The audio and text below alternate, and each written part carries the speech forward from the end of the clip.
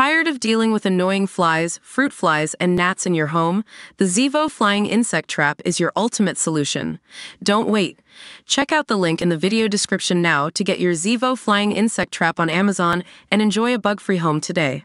Celebrity couple Emma and Matt Willis are helming Netflix's Love is Blind UK, but where did their love story begin? TV presenter Emma, 48, is best known as the host of Big Brother and The Voice, as well as Channel 4 reality show The Circle. As for Matt, 41, he rose to fame as part of the aughts pop band Busted. The duo have been together for 20 years and recently celebrated their 16th wedding anniversary, which Matt marked by getting a tattoo of his wife's face. In 2022, the couple, who share three children, got candid about Matt's past difficulties in a BBC documentary titled, Matt Willis, Fighting Addiction. Through the ups and downs, they have stuck together and currently live in their £1.7 million home in Hertfordshire. As they undertake their first co-hosting gig since 2008 with their love front and center, here's everything to know about their life together.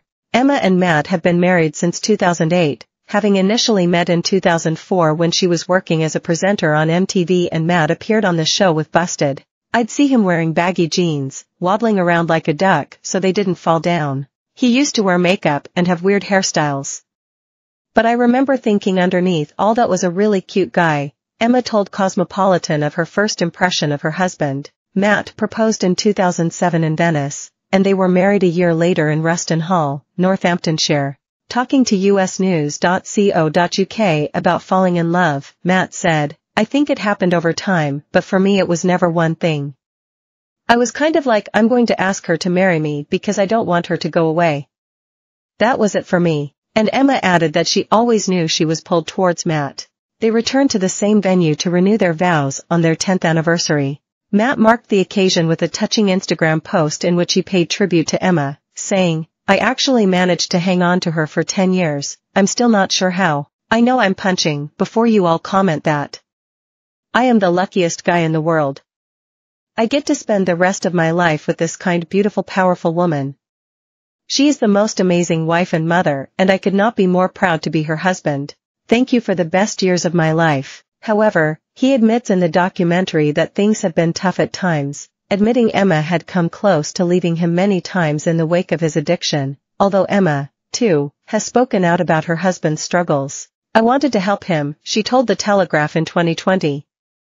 Your relationship progresses, and you realize that there is a real issue, and it's not just a young kid who has got a lot of money very quickly. Earlier this year, Matt marked 16 years of marriage with an Instagram caption, reading, I love you more than ever.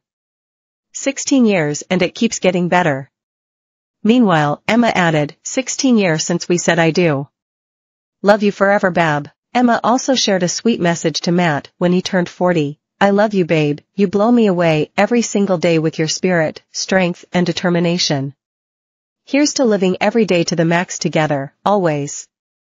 Sick. Dot. Matt and Emma are parents to three children, Isabel, who was born on June 20, 2009, Ace, born November 26, 2011, and youngest daughter Trixie, who they welcomed in May 2016. The couple keep their children out of the public eye, choosing not to share photos of them online, although they do sometimes post snaps on social media with the kids hiding their faces. Despite this their son Ace has been hailed a style icon, and was previously praised for breaking gender stereotypes for having long hair and choosing to wear pink. Emma defended her child's choice to wear what he wants at the time, telling the Sun's fabulous magazine, say what you want about me, I'm big enough to take it on the chin.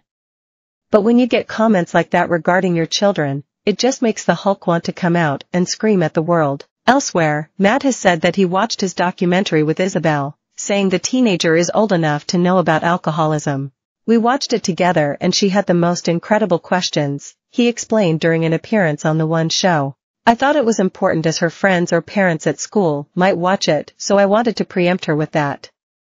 I was blown away by her reaction to it. Love is Blind UK on Netflix is filmed